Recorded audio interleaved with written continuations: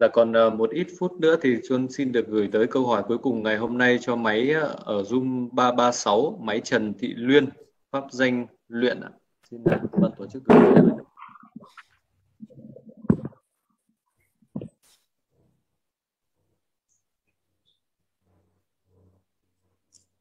À, chưa có tiếng không hiểu là.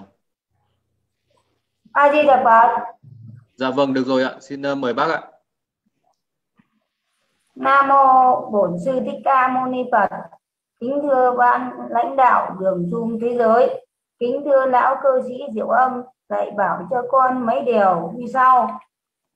Ngày hai thời con tụng kinh để lễ Phật hai tiếng một buổi. Con vừa lạy Phật, vừa đọc A Di Đà Phật cho con về Tây Phương Cực Lạc. Có được không ạ? À? Mỗi tháng 8 buổi con, buổi trưa, con ra chùa các Phật tử đọc kinh, nhưng con chỉ ngồi lần tràng niệm Phật thôi. Vì các Phật tử ở con lại không tu tịnh độ, mà mỗi buổi trưa tụng một tiếng. Con xin thầy giảng dạy cho con. Con xin chúc thầy và ban tổ chức đường Zoom mạnh khỏe để rất dìu Phật tử chúng con khi lâm chung được về Tây Phương Cực Lạc A Di Đà Phật a di đà phật. Hai thời tụng kinh niệm phật lễ phật. Cầu vãng sanh rất tốt cụ cứ tiếp tục làm. Còn nói rằng khi đến chùa, người ta tụng kinh sao tụng kinh mình niệm phật. Như vậy thì mình ở nhà niệm phật hình như thanh tịnh hơn. Còn nếu mình thấy tới ngôi chùa ngôi tam bảo thì người ta tu làm sao mình hòa nhập với người ta để tạo phước tạo đức thì hay hơn. Nếu mà mình tới người ta mà mình không chấp nhận cái đường tu người ta mình là âm thầm niệm phật thì chẳng khác gì mình niệm phật mà tâm của mình cứ nói tại sao mấy ông này niệm phật không? À, mấy ông này tụng kinh không chịu niệm phật? Mình có cái tâm chống đối người ta trong lúc đó thì tự nhiên hình như nó tạo ra một cái môi trường một cái từ trường không tốt.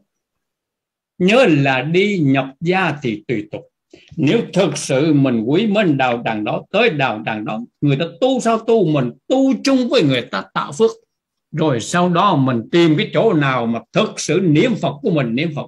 Chứ lúc đó người ta tụng kinh mà mình niệm Phật, liệu rằng mình niệm Phật có nhất tâm hay không? Tiếng kinh, tiếng kệ, những cái động tác mà người ta đi qua đi lại ta lạy bái gì đó. Mình có để ý đến không? Nếu để ý đến thì tự nhiên niệm phật, tiếng niệm phật của mình cũng không phải nhiếp tâm, cũng không phải là đủ công đức đâu. Cho nên đề nghị là mình đến đạo tràng nào, người ta tu như thế nào, mình tu như thế đó là đúng. Nếu mình thấy rằng đường tu của họ không hợp với mình, thì mình phải tìm một cái đạo tràng nào có cách tu hợp với mình ví dụ như mình quyết lòng niệm phật, tại sao không đến một cái đạo tràng? Người ta quyết lòng niệm phật để trên dưới hòa với nhau một kiểu. Mình niệm phật với nhau để cùng nhau tạo công đức. Rồi sau cùng cùng hộ niệm, hướng dẫn cho nhau vãng sanh thì mới có lợi lạc. Chứ còn mình niệm phật một mình rồi sau cùng mình ra đi, ai có thể ngồi bên mình, hộ niệm cho mình, niệm phật cho mình? Rồi khi một người trong đạo tràng nó đi, mình được quyền tới hộ niệm cho người ta hay không? Chính phàm phu mình rất cần hộ niệm. Cần hộ niệm thì nhất định có người niệm Phật. Biết hộ niệm mới nhắc nhở. Con đường vãng sanh chứ còn những người không biết đường vãng sanh làm sao có thể hộ niệm được cho mình?